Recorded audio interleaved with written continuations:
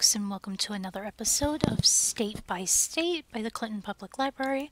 I am Cassie, your host, and today our state is Iowa.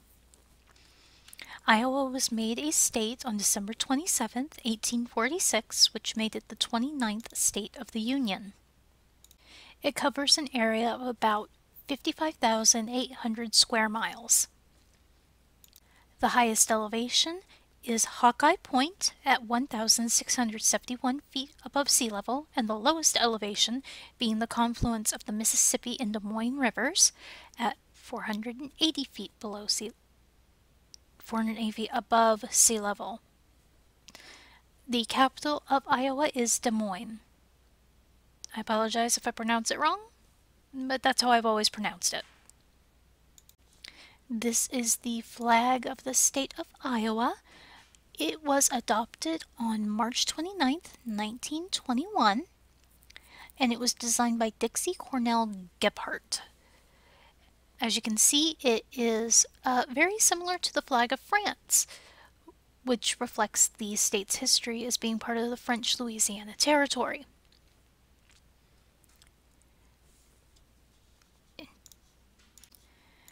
In the middle of the flag is a bald eagle with a long ribbon reading, Our liberties we prize and our rights we will maintain, which is derived from the seal of Iowa. It was first approved in May 1917 by the Iowa State Council for Defense. It was designed in the same year in, by a Knoxville, Iowa resident Dixie Cornell Gebhardt of the Daughters of the American Revolution of Iowa. It was then adopted by the state legislature in 1921. The state bird of Iowa is the American goldfinch. Now, it's very easy to tell a male goldfinch from a female goldfinch because they have a very uh, distinct sexual dimorphism.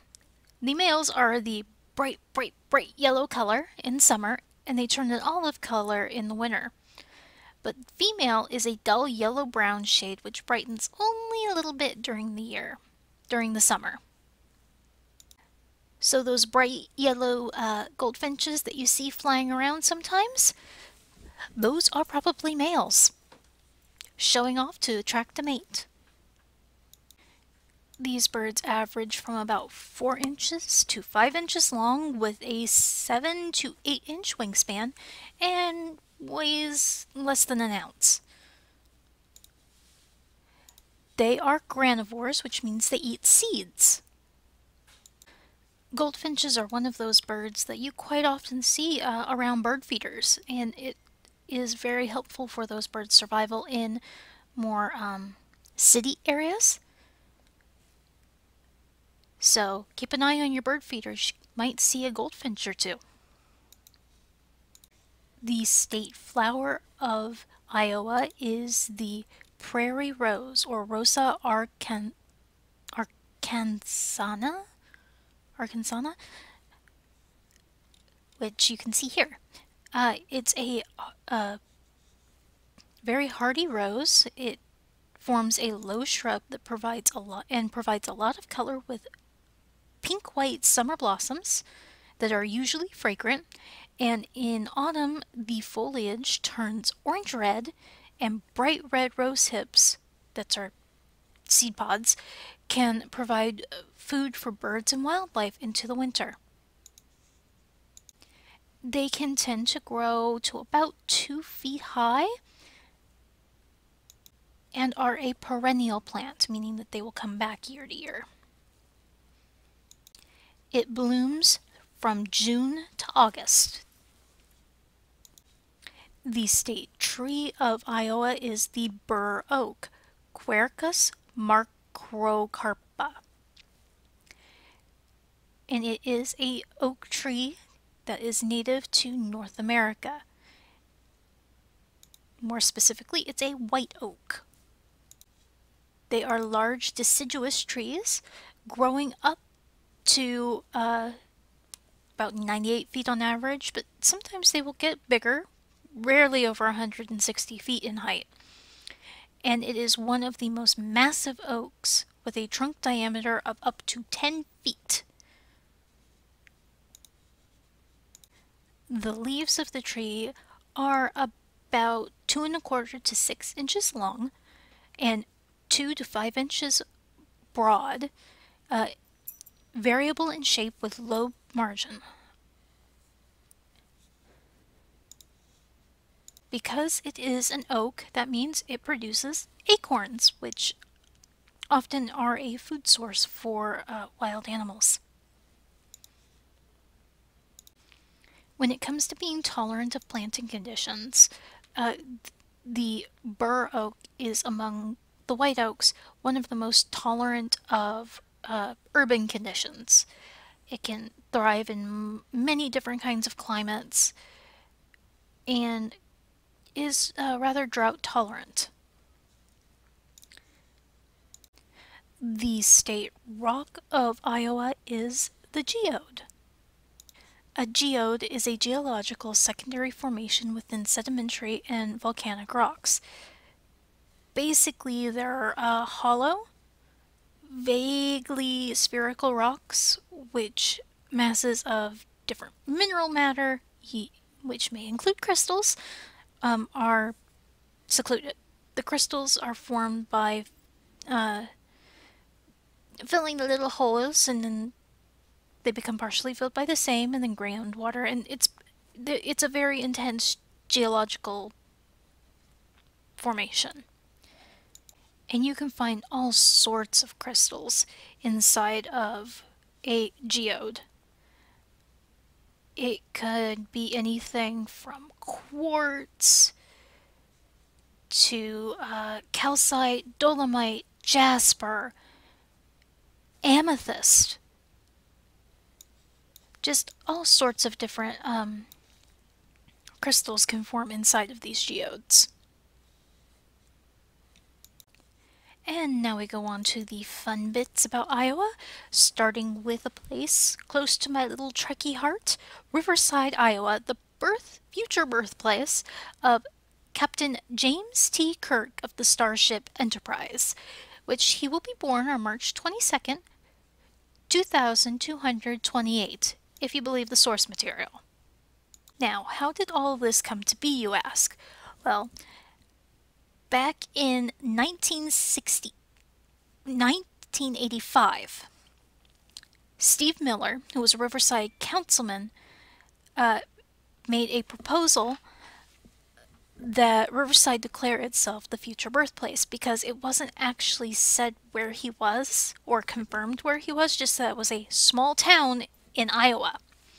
And Steve Miller knew this because he was a Trekkie and he'd read Gene Roddenberry's book, Making of a Star Trek. The motion passed unanimously. So, Riverside changed its town slogan from Where the Best Begins to Where the Trek Begins, changed its annual summer festival from Riverfest to Trekfest, and Miller jabbed a stick into the ground behind the town barbershop, which he owned, and declared that it was the future birth spot. There is an engraved monument at the spot, as well as a bench. In fact, uh, it was confirmed Miller's inspiration became official Star Trek canon in May 2009 when the Star Trek reboot movies, where Kirk was declared to be from Riverside.